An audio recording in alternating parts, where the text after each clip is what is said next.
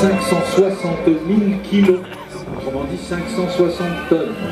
Il peut voler à un peu plus de 1000 km h mais sa croisière euh, de référence est de l'ordre de 950 km h Il peut parcourir 15 400 km. On peut mettre dedans jusqu'à 853 passagers, ce qui est absolument énorme.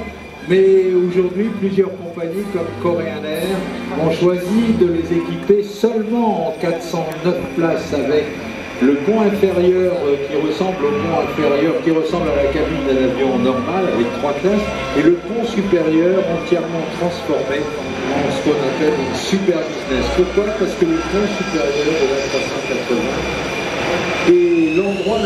silencieux, le plus confortable et le plus doux pour voyager dans le ciel. Cet avion est un véritable patrouille dans le but du passager. Et du point de vue de l'équipage, eh on se sent un peu, c'est vrai, dans une passerelle de science-fiction, comparé à l'avant, avec ce géant qui obéit à ben, de simples pressions des doigts sur le.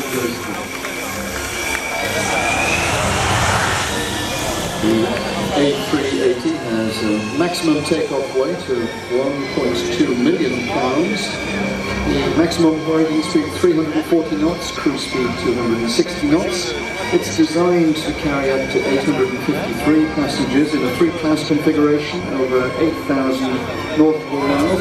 Well, a number of the airlines have adopted other configurations, we saw earlier in the week a Korean Airlines aircraft uh, was flown and had 407 passengers.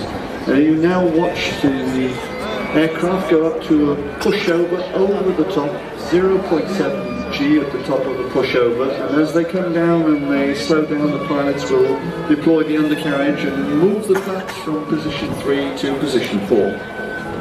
Je rappelle que le surnom de cet avion, c'est donc le géant qui murmure.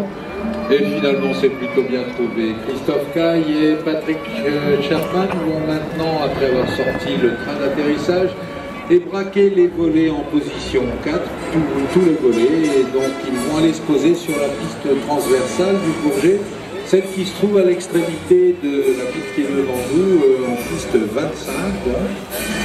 Et ben, je profite aussi de l'occasion pour vous dire qu'une petite fille a été perdue, elle s'appelle Ambre Marol, et vous la retrouverez